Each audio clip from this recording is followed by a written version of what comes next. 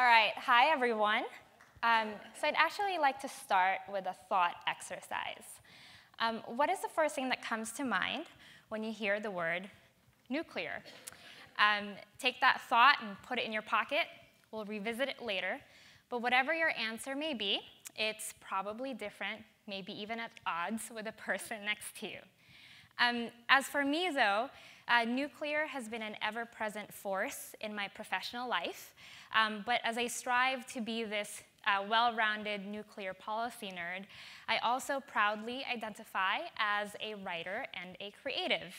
And as you can imagine, those two things don't mix so well. Um, on the one hand, I have this topic that is horrifyingly boring to my family and my friends. And on the other, I have this constant urge through writing and the arts to connect with everyone around me. But I've eventually come to realize that nuclear uh, can actually embody both. Think about it, right? Um, even though we're not all physicists, uh, engineers, or policy experts, uh, there's something about this word that touches our core. Even though we don't understand the political or technical intricacies, uh, we get pulled in when we hear the prospect of a certain psychopath pushing the red button, right? And so, so why is that? How come nuclear, a concept that is so abstract and distant from our daily lives, elicit emotion out of us? So I believe that nuclear images uh, serve as foundation for the nuclear narratives that we create and choose to believe. Um, and these, in turn, uh, shape our values and dictate our actions. So, um, the first thing that comes to mind when you hear the word nuclear is usually this. So, this is the um, Castle Bravo nuclear test uh, conducted in 1954. It's the first fully packaged hydrogen bomb that the United States tested with an explosive power a thousand times of the, uh, than the Hiroshima bomb. And the scientists actually miscalculated the movement of the radioactive fallout. So it fell on uh, Marshall Island residents and a Japanese fishing crew out to sea. Um, so the United States hasn't uh, tested since 92, but there's definitely uh, nuclear wannabes out there, like North Korea, that continue to test today in 2016. And the international community has yet to enforce the Comprehensive Test Ban Treaty. The US has signed it, but has yet to ratify. Um, but let's be real, right? Um, the image of the mushroom cloud is oversold and overconsumed.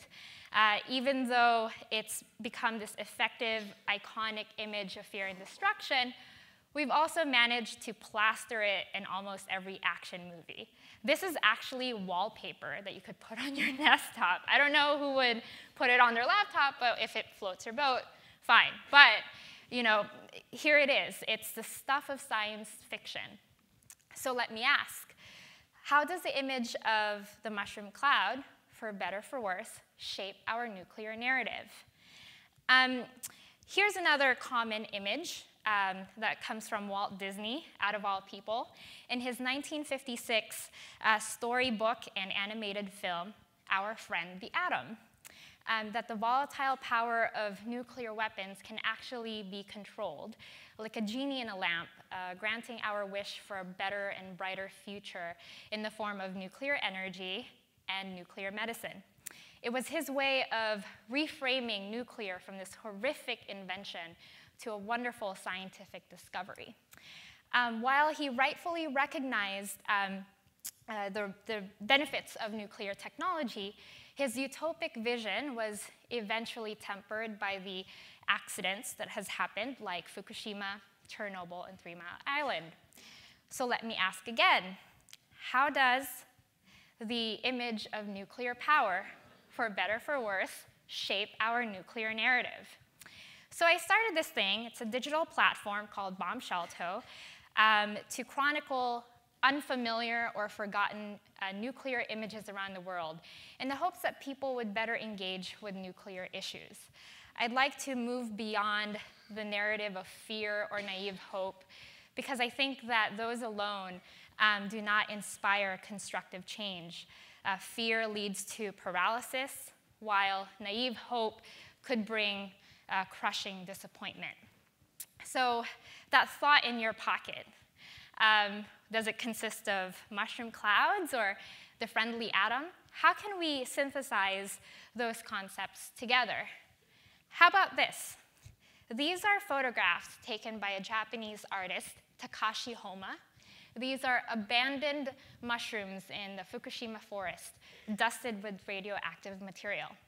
They are forbidden to be harvested and eaten, and yet they grow like tiny survivors, defiantly flourishing despite their circumstances. To me, these images wrestle with beauty and tragedy and resilience.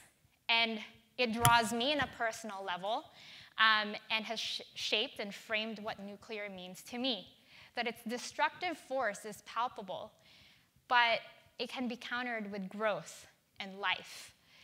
So, nuclear issues um, are deeply personal issues, uh, not just because we discovered um, the atom, but because we need to be responsible custodians of it to prevent the spread of nuclear weapons, to seriously engage nuclear disarmament, to insist on the safety and security of all nuclear facilities and material. But in order to even get to that point, to embrace this sense of responsibility, we have to first spark curiosity, be interested, and invested. We have to be better stewards of the atom because we're all literally made from it. So I, I really encourage you all to seek and create uh, alternative nuclear images and narratives. Um, from the love story of uh, Pierre and Marie Curie, the discoverers of radium, to the uh, civil rights movement and how they've linked uh, equality to nuclear disarmament. And even the artwork of Subodh Gupta, who literally used pots and pans to sculpt his own uh, mushroom cloud to humanize and contextualize the very real nuclear tension between India and Pakistan. And of course, you have Takashi's Homma's mushrooms. I hope that Bombshelltoe will help bring these um, you know, images to light and um, help everyone kind of look at nuclear issues through, the, through, through a different prism. And I really hope that you all too um, reshape nuclear narrative through your own creative work, as crazy and outlandish as it may seem. But maybe by doing so, we could all make nuclear issues more grounded and connected to us. Thank you.